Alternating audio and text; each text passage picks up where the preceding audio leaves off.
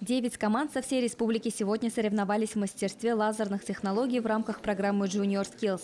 Среди конкурсантов и команды Высокогорского района, точнее, воспитанники третьей школы. Собрались лучшие из лучших, но выполнение заданий по времени внесли нотку переживаний среди участников. Надеемся, то, что Высокогорская земля будет им как бы помогать, подпитывать Благодаря программе Junior Skills ученики получают образование уже в школе. Ранее профориентации и есть суть Junior Skills.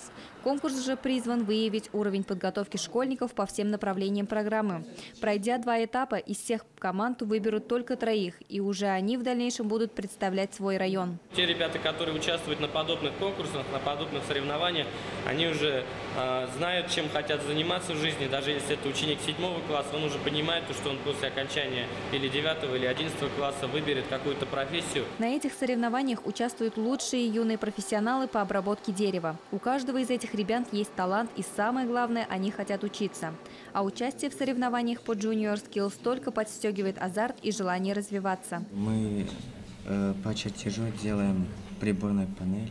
Умение работать в команде – одна из необходимых качеств, которыми должны обладать участники конкурса для успешной работы. Зухра Валиулова, Фаниль Мухарлямов. Новости Татарстана. Стал очевидцем события и хочет, чтобы о нем узнали? Присылай фото и видео, а также вступай в нашу группу ВКонтакте «Мобильный репортер 24».